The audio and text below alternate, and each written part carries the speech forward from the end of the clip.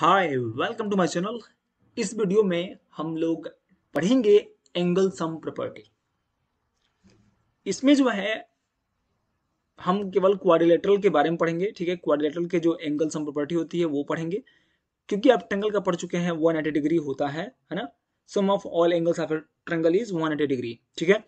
तो यहाँ पर एनसीआरटी में आपको वन टू ऐसे करके दिया हुआ है। वन टू एंड यहाँ पर थ्री फोर ये जो दिया हुआ है अलग अलग तरीके से इसको प्रूव करने का जो मेथड वो हम सब अलग अलग पार्ट्स में डिस्कस करेंगे।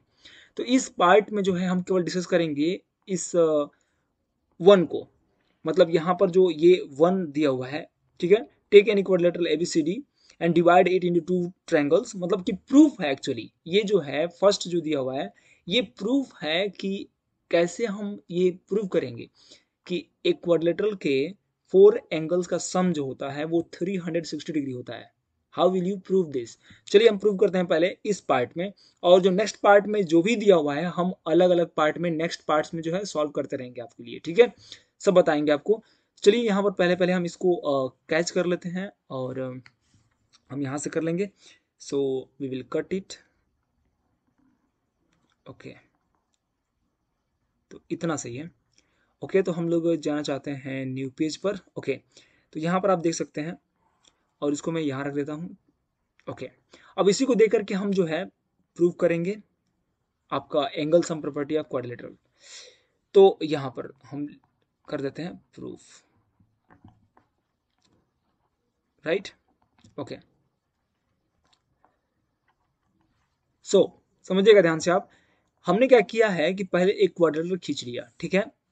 ए बी सी डी और ए बी सी डी में हमने एक डायगनल खींचा हुआ है ए से सी तक, ठीक है? एक डायगनल है ए सी और ये ए सी क्या कर रहा है कि इस क्वाड्रिलेटरल को दो इक्वल भागों में डिवाइड कर दिया है, ठीक है?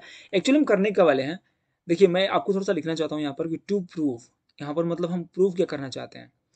तो let me write it to prove हमें प्रूव करना है angle A angle A plus angle B plus angle C plus angle D is equal to three hundred and sixty degrees okay हमें ये प्रूव करना है।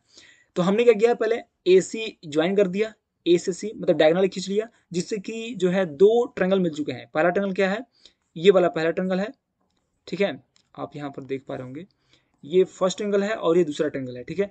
ए सी डी इसका नाम रहेगा ए सी डी और दूसरा है ए बी सी ठीक है? ए बी सी तो आप कोई भी मतलब नाम दे सकते हैं। खैर, यहाँ पर हम देखते हैं कैसे प्रूव करेंगे। तो हम यहाँ पर पहले स्टार्ट करेंगे। यहाँ से in triangle in triangle A C D या फिर ए डी सी भी बोल सकते हैं। In triangle A C D A C D में क्या मिलेगा? We know that sum of all angles of a triangle A C D is equal to one hundred eighty है कि नहीं? तो इन ट्रेंगल ए सी डी में क्या मिल जाएगा? हमें मिलेगा, देखिए ये एंगल वन है।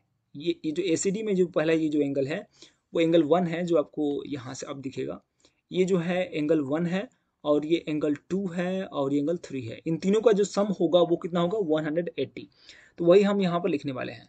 तो angle one plus angle two plus angle 3 is equal to 180 degrees, right? Also also, in triangle in triangle ABC इस वाले में, ठीक है? इन ट्रेंगल ए बी सी क्या मिलेगा? Angle four plus angle five plus angle six ठीक है? आप यहाँ पर देख सकते हैं, ये एंगल फोर ये वाला angle angle four and angle five and angle six इन तीनों का जो सम होगा वो भी कितना होगा? 180 होगा, क्योंकि एक ट्रेंगल के तीनों एंगल्स का जो सम होता है वो 180 ही होता है। तो हम देख सकते हैं यहाँ पर जो दिया हुआ डिजाइनेशन यहाँ पर, कि angle four angle four plus angle five plus angle six is equal to one hundred eighty degrees तो इनसे कुछ नाम ले लेते हैं। पहले वाले का हम इक्वेशन दे देते हैं। फ़र्स्ट दिस इज़ सेकेंड ठीक है? तो हम क्या करेंगे, देखिए यहाँ पर हमें, यदि हम इन दोनों को ऐड कर दें, मैं दोनों ट्रेंगल के एंगल्स को ऐड कर दें तो क्या मिलेगा? वही हम देखना चाहते हैं। तो यहाँ लिख देंगे adding adding first and second okay तो यदि हम ऐड करेंगे तो मिलेगा हमें angle one plus angle two plus angle three मतलब ये वाला जो है लेफ़्ट हैंड साइड का, इसको ऐड करेंगे इसमें प्लस इसको ऐड कर दीजिए। Angle four plus angle five plus angle six is equal to इधर भी ऐड करना पड़ेगा। तो 180 प्लस 180 ठीक है? अब यहाँ पर ध्यान दीजिएगा, ये जो टू और फाइव है, ध्यान दीजिए। यदि हम इस टू और फाइव को थोड़ा सा हम को यहाँ पर इरेज कर लेते हैं कुछ। ओके तो यहाँ पर मिलेगा आपको टू और फाइव को यदि हम ऐड कर दें तो ये जो पूरा एंगल है टू और फाइव कितना है? सी है। है कि नहीं? ये पूरा एंगल कितना है? टू और फाइव सी है।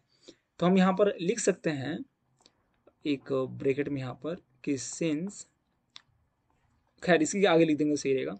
यहाँ पर लिखते हैं since angle two plus angle five is equal to angle C right?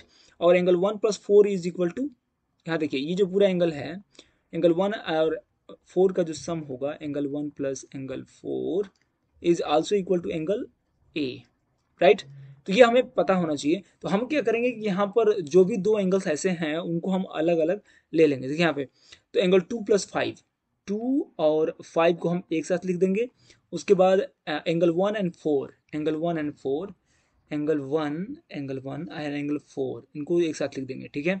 तो हमें मिलेगा angle one plus angle four plus angle three ठीक है? Angle one plus angle four plus angle three plus angle three okay plus angle three plus angle five plus angle two ठीक है? Angle two plus angle five तो इसको हम red में रखते हैं। Angle two plus angle five ठीक है? इनको हमने ग्रुपिंग किया हुआ है। इसको इसमें और इन दोनों को एक साथ plus angle six is equal to यदि इन दोनों को ऐड करेंगे तो मिलेगा हमें three hundred and sixty degrees right तो अब देखिए, इन इन दोनों को ऐड करने पे क्या मिलेगा? One plus four angle A मिलेगा। तो यहाँ पर सकते हैं angle A so it implies we can write it here angle A this is angle A plus angle three क्या है? देखिए ध्यान दीजिएगा एंगल थ्री जो है एंगल डी है। तो एंगल डी को हम बाद में लिखेंगे, पहले हम एंगल बी लिखते हैं, ठीक है? तो एंगल बी कौन सा है? एंगल बी आपका सिक्स है। देखिए यहाँ पर सिक्स यहाँ पर है तो हम इसको यहाँ पर लिखते हैं पहले तो एंगल बी प्लस ये जो है यहाँ पर टू प्लस फाइव ये एंगल सी है है कि नहीं? हमने यहाँ पर लिखा है, देखिए angle two plus angle five is angle C so यहाँ पर एंगल सी प्लस और ये जो बचा हुआ है थ्री जो कि एंगल डी है।